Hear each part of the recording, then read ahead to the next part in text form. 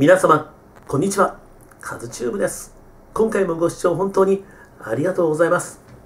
さて、えー今日2月の11日の日曜日祝日建国記念の日、えーオリックスさんの宮崎キャンプは第3クール2日目、お天気は晴れ、日中の最高気温は14度まで上がったんですが、えこの14度、昨日はね、最高気温15度だったので、えー昨日に比べて1度ほど最高気温は下がりましたけれども、えー風が昨日ほど強くなかったのであのむしろ今日の方が僕は暖かく感じました。個人の感想です。はい、えーそんな中オリックスの、えー宮崎キャンプ第3クール2日目順調に、えーメニューがこなされましたね今野口選手が別メニューというところ少し心配はあるんですけれどもね、えーまあ、そこですね。で、今日、ブルペンは豪華でしたね。山岡投手が投げて、田島投手投げて、宮城投手も入ってきた、俊平太君も来た、東君も来た、小木田投手も投げて、新外国人、マチャドも投げた。という感じで、あと、えーこうルーキーの社会人3人ですね。高島、小田島、えー権田、えーこの3人も投げてましたからね。えー今日はブルペンが賑やかでございましたね。えーまあ、ピッチャー陣の中であの川内投手、えー今日早川大輔さんスカウトが、えー放送にもゲストとして、えー来てくださったんだけども、えー担当が早川スカウト川内投手ねあのすごく投げ方もいいし期待しているということ何よりも川内投手の実家が早川さんのご近所と いうことを聞いておりますね。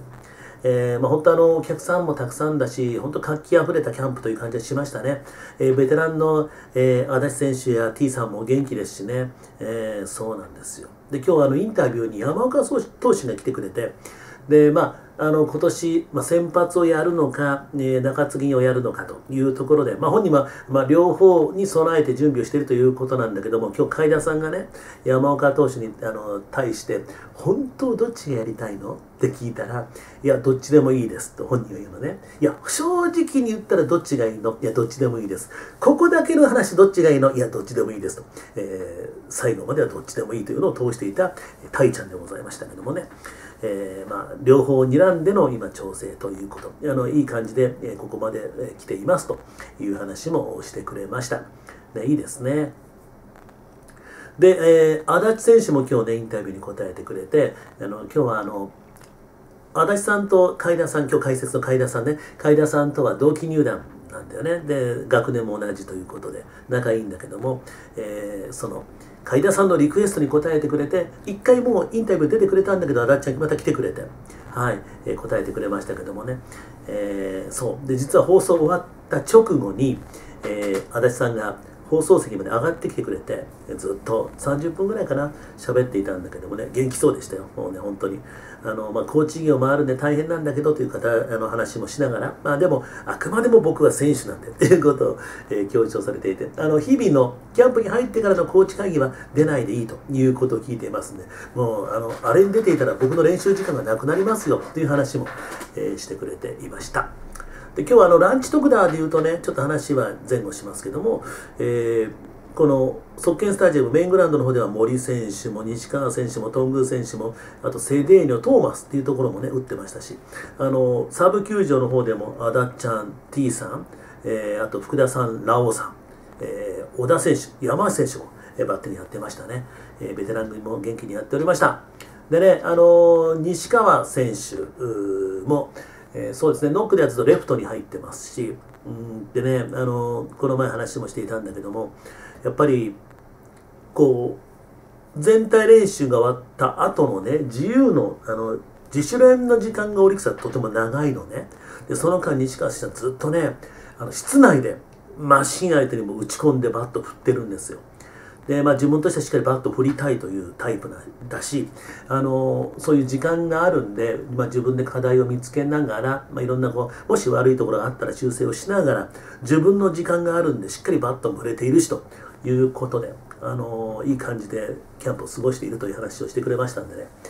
西川選手なんかね楽しみだね。なんかそんな感じがしました。今日実はあの西川選手と話を、まあ、15分ぐらいかな、えーさせてもらっていろんな話聞いてきたんだけどもまたそれはあのパーフェクトガイド用の取材で、えーしておりましたのでまた、えー機会があれば読んでください、えーまた文章にしないといけないんだけどもねインタビュー記事を書きます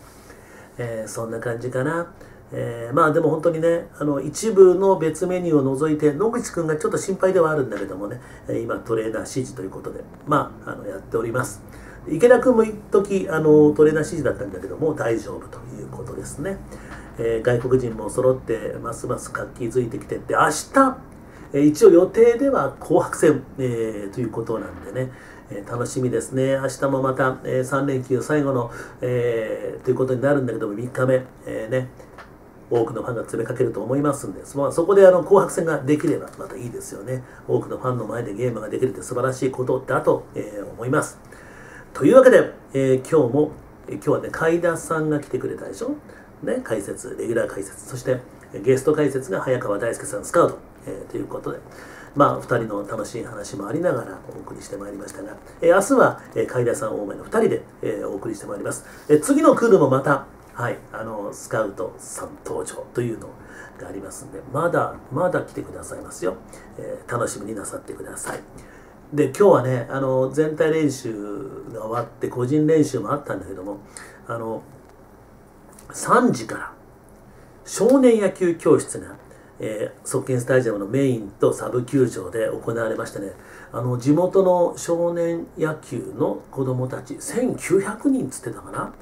すごいよね、